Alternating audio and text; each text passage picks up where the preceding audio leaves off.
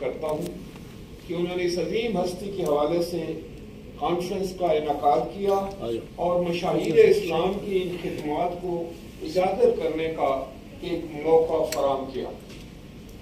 मैं ये भी उम्मीद करता हूँ कि इस कॉन्फ्रेंस का इनका न सिर्फ़ मशाहिर इस्लाम के कारनामों और आसार की बका के लिए की जाने वाली कोशिशों में मददगार साबित होगा बल्कि से हर शुबा ज़िंदगी से तल्लक रखने वाले शख्स को एक मस्बत पैगाम जाएगा और माशरे में पाई जाने वाली मायूसियों और अदम बर्दाश्त के रवैयों में यकीनन कमी का बायस होगा।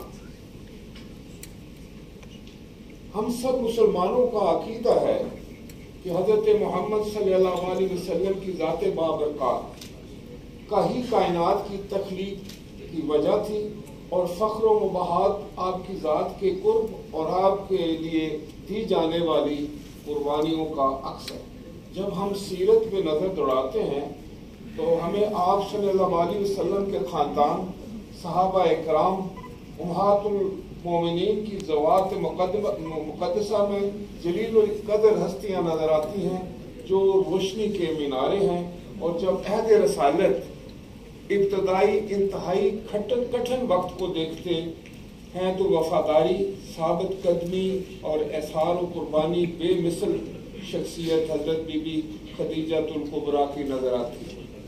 आपकी विलादत पाँच सौ पचपन ईस्वी में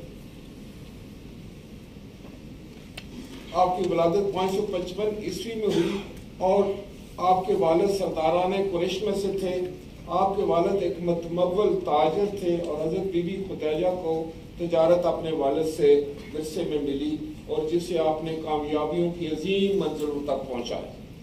अरब आपको अजीम खदीजा और क्रेश की शहजादी के लकब से जानते थे। जब अरब में बुतों की प्रस्तिश आम थी, उस वक्त भी तारीख आपकी तोहिद परस्ती और पाकिजगी की गवाही देती है। आपकी शख्सियत खातन के लिए वो रोशन चराग है, जो ज़िंदगी के हर मरहले में रहनमाई फ्राम करती है। हम आपकी ज़िंदगी को दो हिस्सों में तकसीम कर सकते हैं। पहला हिस्सा जो हजूर अक्रम हज़रत मोहम्मद सल्लल्लाहु के साथ अकद से पहले का है और दूसरा अक्त के बाद का।